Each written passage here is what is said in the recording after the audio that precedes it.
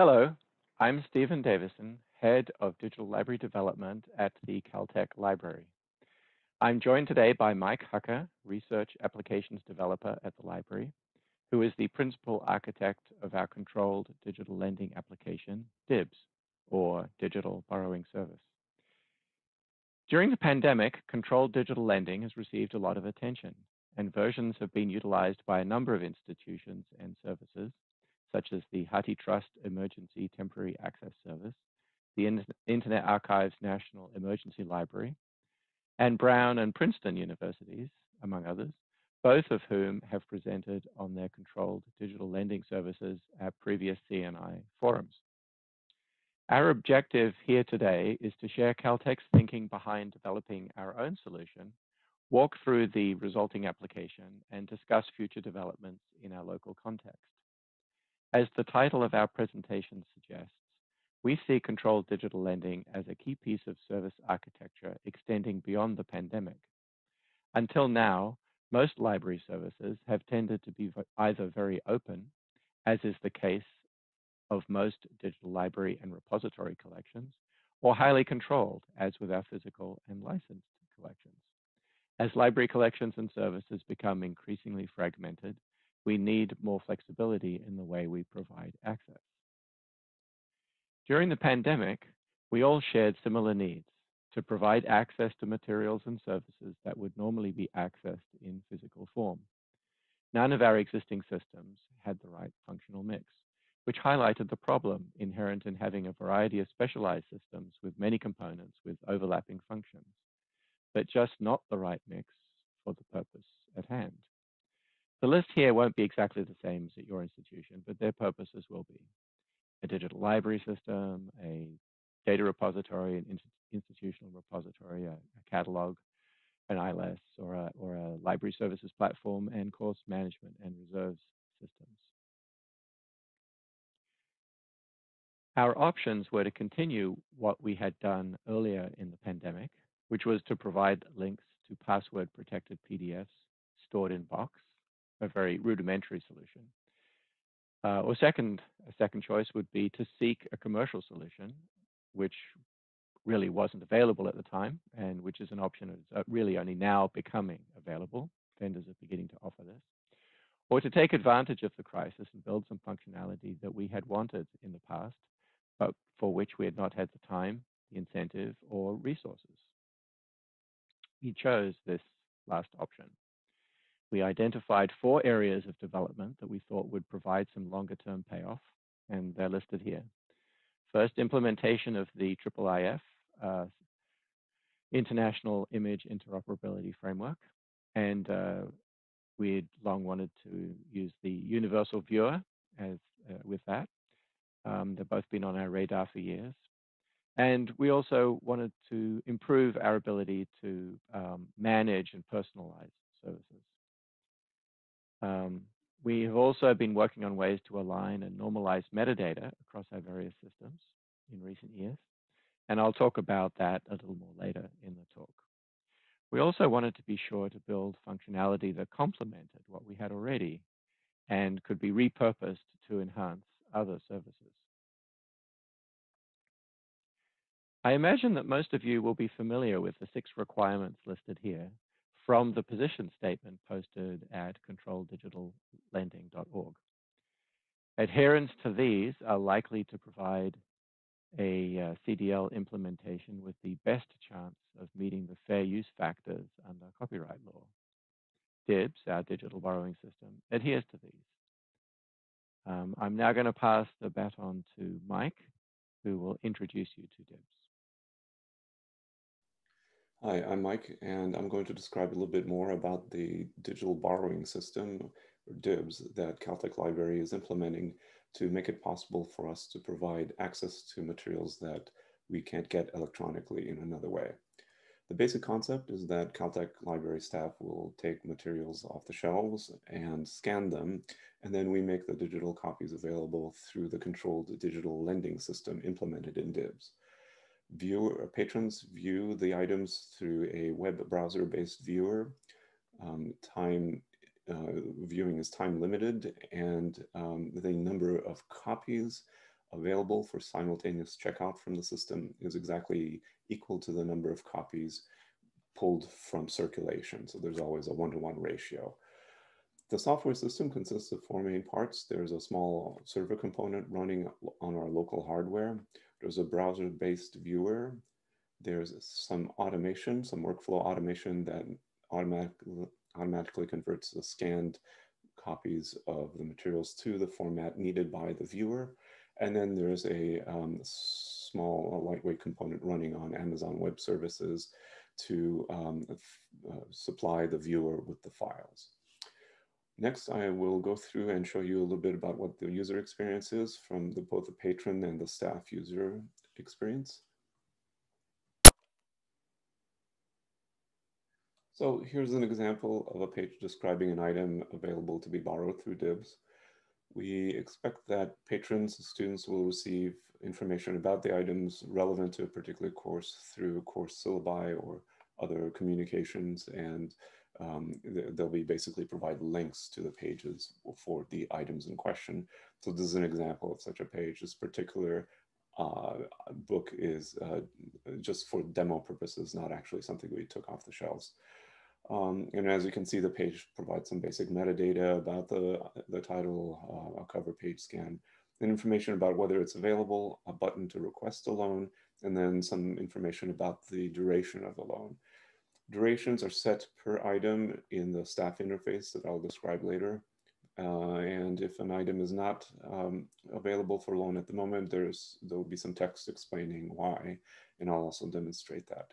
Basically, if a student wants to request a loan for an item, for this item, uh, they click the button and they get a confirmation dialog that also provides a little bit of information about um, the terms of the loan. If they click OK, they proceed and are immediately sent to the viewer. This, the viewer is Universal Viewer. It's a um, open source viewing utility that is uh, compliant with IIIF. So it uses IIIF um, on the back end to, uh, to uh, for the file format and the way that the files are fetched uh, from a service. As you can see, the, um, the interface provides what you might expect from a viewer, uh, thumbnails of the pages, uh, the ability to page through, um, the ability to zoom in on pages and so forth. And then at the top, it provides some information about the loan. Uh, one is the expiration time for this particular item, and then also a button to explicitly um, end the loan. Loans will time out, but uh, as a courtesy, if somebody is once to finish a loan, they're done with the item. Um, they can request to end it immediately, and that way, it's uh, the item becomes available to other people. The copy of that item becomes available to other people. Um, so I'm going to go ahead and, and, end the loan now. You get a confirmation dialog just to make sure that that's uh, what the person wanted, and then um, they can click OK, and they'll send. There's they'll be sent to a thank you page that also has a link to uh, where they can provide anonymous feedback um, for us if they if they want to tell us about their experience. And if I go back now to the same item for that, you can see, whoops, you can see the um, uh, that the text now provides information about the terms of the loan changing because now it's uh, there's a period of time after someone loans it loans an item that they uh, basically kind of a, a, cooling off period before they can loan the same item again. So uh, this is one of the messages it might they might receive, the person might receive uh, telling them that it's too soon after they last borrowed the same item. And it tells them when it's going, going to be available again and the button is uh, disabled. Okay, so that's basically the, uh, the experience for uh, patrons and people who want to borrow items.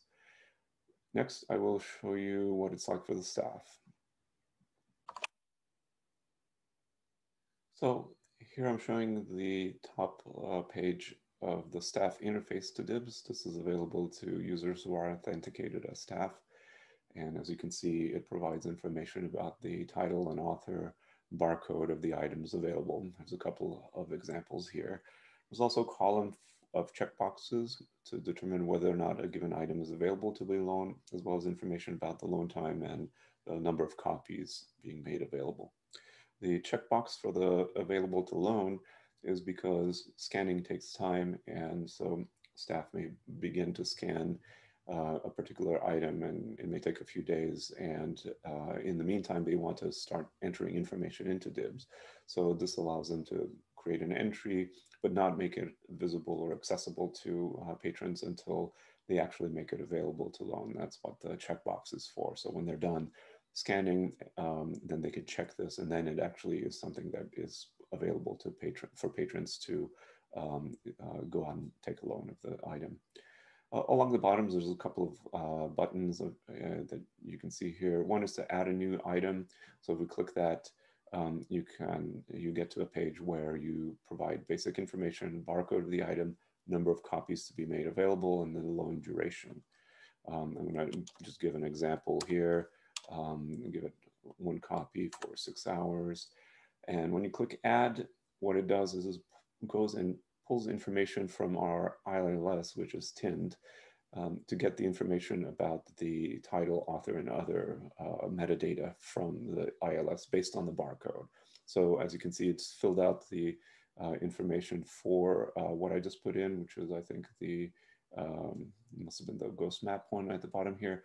Um, and uh, I didn't have to type that in, it got it automatically. The um, and it's as you can see, it's not marked to available to loan because um, it, that takes a human interaction to uh, to make that actually available to be borrowed. At the right, there's an item. Uh, there's a button for editing an item in case you need to change some parameters, so number of copies or the loan duration. Um, and then there's a um, button to copy the link to the page describing the item and has the button to loan to do the loans.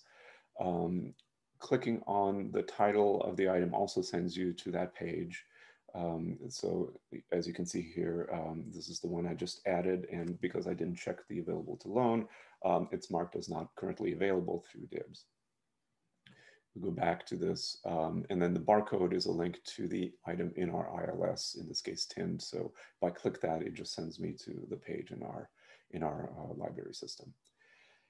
And then at the bottom, the other button is manage item list. And if you click that, that brings another page uh, listing the items. And currently the only functionality is to disable, or sorry, delist um, the item, basically take it out of the DIBS system if that's necessary for whatever reason. In the future, we may add some more functionality to that. And that's basically, uh, basically the system for um, for DIBS uh, for staff. And uh, there's some additional pages for um, uh, with help information for users and uh, and uh, the feedback page, which I mentioned before, but uh, this is basically it. So just a few words about the architecture of the system. It's written in Python. It uses a framework called Bottle and it is um, it uses an SQLite database for storing information about items and loans. The universal viewer is written in JavaScript. That's an open source component we got from other developers.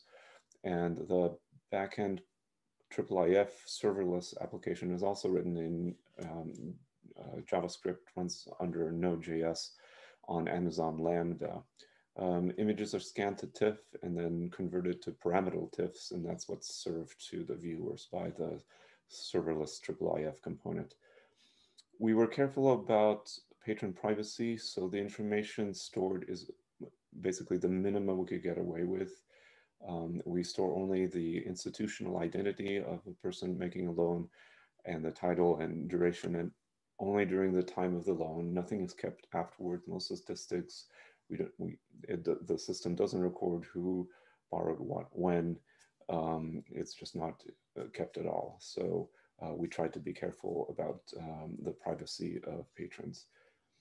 And uh, that's basically it. The system is available now on github. Um, it uh, is still in development so we're improving it and uh, hopefully we'll make it um, more capable and robust in, uh, in a short time. But it's functional now and um, we're getting feedback from people now. So um, if you're interested, please uh, let us know uh, what more we could do with it. Thanks. Thanks, Mike. During the remainder of this talk, I'm going to discuss our plans for further development of DIBS, focusing on a version that will support special collections and archives virtual reading room services, and then describe how that fits into a broader approach to building services around repositories and digital assets. Here I have listed the six controlled digital lending requirements on the left-hand side in an abbreviated form, with a special collections version on the right-hand side. Um, these are not intended to be a similar list of special collections requirements, but just prompts for the sorts of questions and considerations we will have to take into account when providing virtual reading room services. Just as with the general collection, special collections materials are generally owned by the institution, usually without the associated copyrights. Donated collections will have donor agreements, but of course the vast majority of these predate the internet and therefore usually don't include any sort of perpetual license to provide uh, online access. So ambiguity exists, just as it does with general collections. The issue of the owned to loaned ratio and one user at a time is much less relevant as special collections use, use is historically very different from general collection practices. However, given that the institution is often not the copyright holder, being able to tightly control access would be important.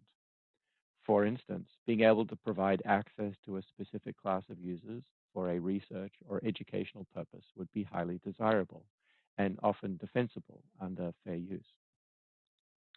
Providing copies of special collections materials for personal or educational use is a very common service, but there needs to be the ability to control what materials can be downloaded and by whom.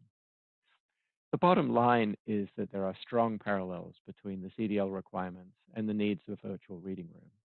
The main difference is the need to vary access controls by patron and by item, and those are the changes that, that we will make in generalizing DIBs for use in the special collections context.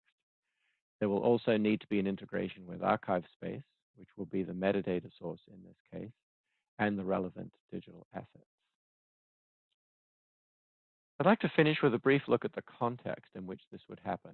This diagram is obviously a greatly simplified overview of our architecture, but it summarizes our approach.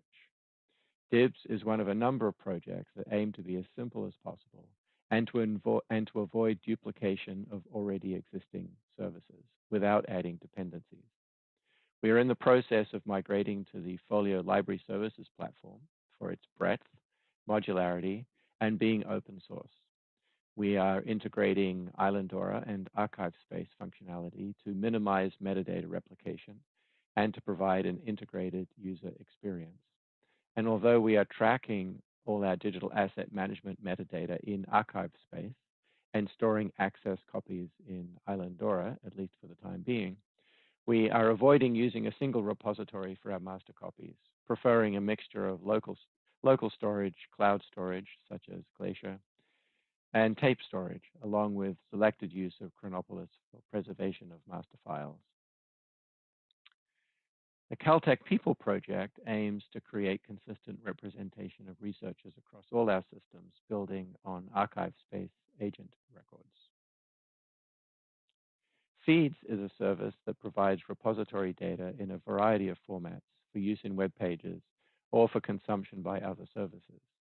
A key, design, a key design feature of feeds is that services are built against static copies of metadata that is written out of repositories nightly.